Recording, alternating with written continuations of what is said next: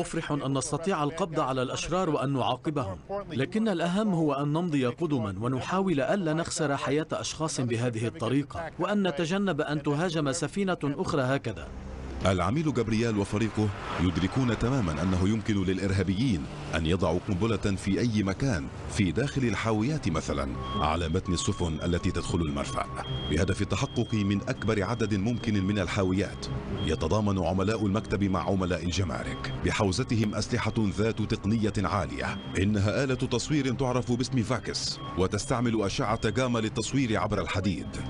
يقومون بتفتيش عشوائي للحاويات التي تم اختيارها إما لنوع حمولتها وإما للبلد الآتية منه.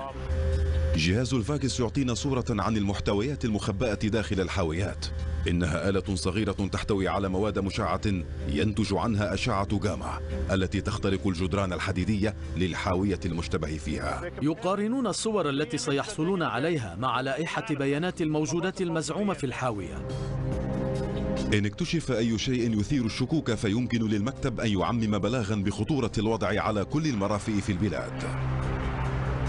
إن كانت الحمولة تتضمن مواد غير شرعية فسيترتب علينا معاينتها. وإن كان هناك من مكمن ضعف علينا أن نعرف به الآن. إن أمكن وضع المخدرات هنا بطريقة معينة فقد يلجأ الإرهابيون إلى الطريقة نفسها لتهريب أشياء أخرى. يحظى العميل جابرييل بمواجهة الإرهاب بعدة فعالة أيضا.